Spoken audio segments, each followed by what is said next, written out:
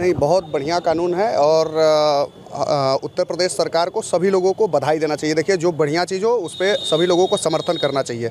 और ये एक अच्छा कानून है और मुझे लगता है कि समाज को एक नई दशा और नई दिशा देगा ये कानून।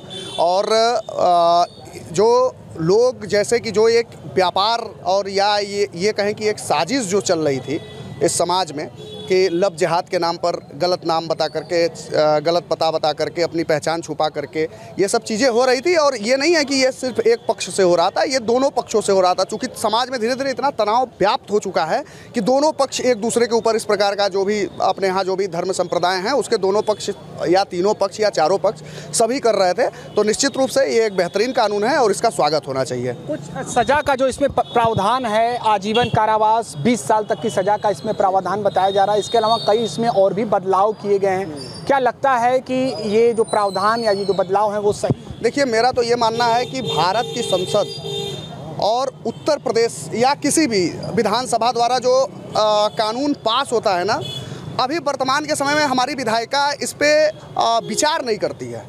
ये जैसे एक राजा ने सोच लिया और उसको उठा करके गया जैसे दंड की बात आपने की तो दंड जो इतना कड़ा रखा गया है दंड को इतना कड़ा नहीं रखना चाहिए। आप आईपीसी उठा के देख लीजिए। आईपीसी का कभी दुरुपयोग होते हुए आप नहीं देखेंगे, लेकिन जो भी स्पेशल लॉ भारत की संसद ने पास किया है या भारत की संसद ने अगर आईपीसी में कोई चेंजिंग कर दी है, उसका दुरुपयोग होते हुए आप देखेंगे। तो सज़ा जो है, उस सज़ा पर विचार करना चाहिए और सज़ा को थोड़ा सा इस हिसाब से रखना चाहिए। जैसा दंड है, उसके हिसाब से सज़ा होना ऐसा लब जिहाद कोई इतना बड़ा अपराध नहीं है कि उसके लिए आप उम्र कैद दे दें। दस साल की सज़ा बहुत होती है। तो क्या इसमें कुछ राजनीतिक मंशा भी आपको नज़र आ रहा है? देखिए राजनीतिक मंशा तो उधर से भी है इधर से भी है उस पर हम लोगों से न बुलवाइए। जो कानून का जो कानून का विषय आपने उठाया उस पर हम ये बता रहे हैं कि कानून अच्छा है लेकिन जो सज़ा है वो बहुत ज़्यादा है ऐसा नहीं होना चाहिए। चलिए आपका नाम?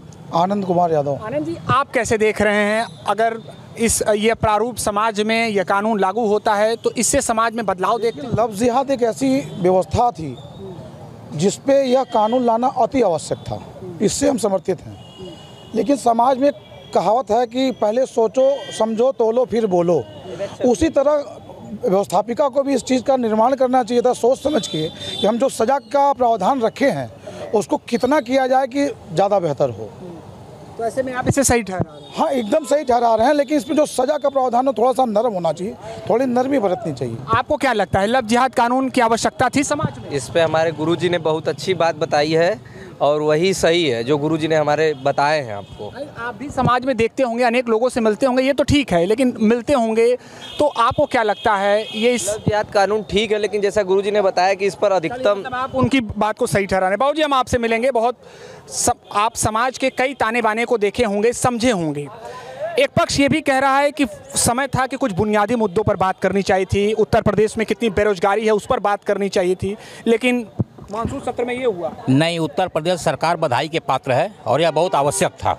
आवश्यक जी हाँ बहुत आवश्यक था और बहुत बहुत बधाई है उत्तर प्रदेश सरकार को। मेरा ये कहना है जैसे कि जो सज़ा की बात आ रही है उस पर ये होना देखिए इस तरह के अपराधों में सबसे ज़्यादा सम्मिलित कौन होता है? युवा वर्ग। और कैसे होता है? बरगलाने पर होता है।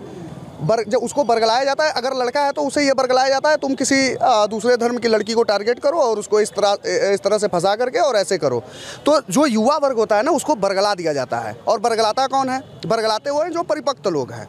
तो इसमें यह भी व्यवस्था होनी चाहिए कि ये भी पता करना चाहिए, इस कानून में ये भी होना चाहिए। मुझे नहीं लगता है कि है कि इन लड़कों के पीछे कौन है वो साजिशकर्ताओं को बेनकाब करने की ज़रूरत है। बच्चे बच्चे क्या 18 साल 20 साल के बच्चे हैं उनको आप बरगला दिए और उनको अब आप उम्र कैद की सजा देंगे। तो ये थोड़ा सा उस उसलिए मैं कह रहा हूँ कि विधायिका को ये थोड़ा सोचना चाहिए। तो ऐसे में लोगों का ये मानना है कि निश्चित तौर पर समाज की एक बुराई को खत्म करने के लिए ये कानून सराहनीय है।